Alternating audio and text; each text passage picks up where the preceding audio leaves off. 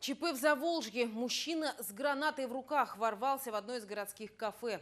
Как сообщают очевидцы, сначала неизвестный мужчина устроил переполох в кафе, а затем выбежал на улицу, где эту гранату бросил на дорогу. На место прибыли все службы быстрого реагирования, вооруженного мужчину задержали.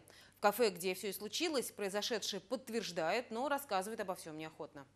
Это был муляж или настоящий? Говорят, настоящий. Настоящий граната. Перепугались вы теперь? Они не видели. Слава богу, мы сработали нормально. Сами напугались, вот сотрудники. Ну, вот, наверное, вопрос. Конечно, пугались.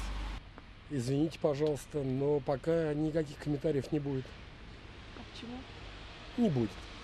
А он стоял, размахивал, что ли, здесь как? Ребят, давайте, пожалуйста, правоохранительные органы, и они пусть сами решают там, как все это делать. Правоохранительными органами задержан мужчина, у которого был изъят предмет, имеющий внешнее сходство с гранатой. В настоящее время по данному факту возбуждено уголовное дело незаконное хранение или ношение взрывных веществ или взрывных устройств.